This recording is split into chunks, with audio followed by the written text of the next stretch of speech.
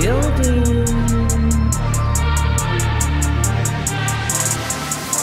High priestess in the building didn't let my fears kill me. Transmuting my pain in that cleanse in the rain. Down out, I was working and I conquered my demons. I accepted my purpose and the goddess I became. What's up? Big goddess energy in the building. this is all signs, and I'm going to time stamp it. This is for my singles. We're going to start from Aries all the way down to Pisces and see what's coming in for you and who is coming in for you. Okay. So let's get it. I'm not going to waste your time. And then the monthlies have already been done. So if you want to look at the full month, uh, go to the playlist of your sign and look in there. Um, August is in there and there is an extended to the monthlies, but I don't do extendeds to all of them. Um, that's a lot of, that's a lot of time and effort right now. So, all right, let's get into. Um, all right. Let's see. We got um Capricorns next. Let's see who's coming in for my single Capricorns. What's going on with my single Capricorns? Who's coming in, right? For my singles. Who or what? Capricorn, you might be a little bit too defensive, okay? No one can come through that motherfucking energy. So, yeah, some of you, some of you are still worried about the ex coming You're probably true. you're you're some of you guys are like, no, I don't want the X, uh, and you're worried about the X, but you don't want the X. Some of you guys are just all into work making that paper. You're like, man, I don't give a fuck about love right now. I'm doing my thing.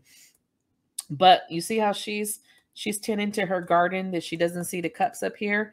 You could be so busy with your work and stuff that you don't see love trying to come in.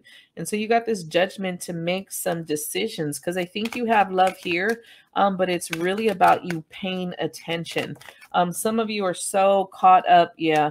Some of you guys are so caught up in what the past did that you don't, you're, you're kind of letting it hinder your present. Yeah. What I say? What I say about the, what the past did? See, the past had you all fucked up. Um, but I do feel like uh, you are going to be changing. I think you're going to be, some of you guys could be moving. I do feel like love is going to come in in the next couple months, but I think uh, the past has left a bad taste in your mouth, especially if you divorced or had uh, any type of legalities with this person. I think you're just like, no, nah, I'm fucking over this shit. Uh, for some of you, you just might be dealing with legal matters at this time, and I feel like you're preoccupied with that for some of you love is probably going to come in your older years. That might be where you uh, you are more mature and have this kind of like love coming in because you're at a different place of your life. I think a lot of you uh, capricorns are very uh, ambitious and so you probably are very career driven and love is on the back burner. So if you want love to come in, some of you have to kind of change that. As I see like you're more focused on your life and your your career that you're not really putting that time and effort into dating. Um, because you do have it here, but it looks very minimal, very minimal energy kind of coming in.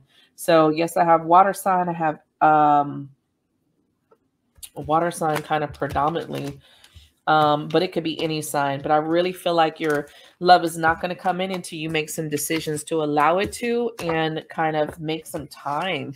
You got to make some time for it, okay? Um,